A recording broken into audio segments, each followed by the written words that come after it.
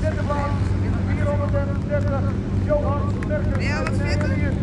Voor de ik vind het niet eerlijk.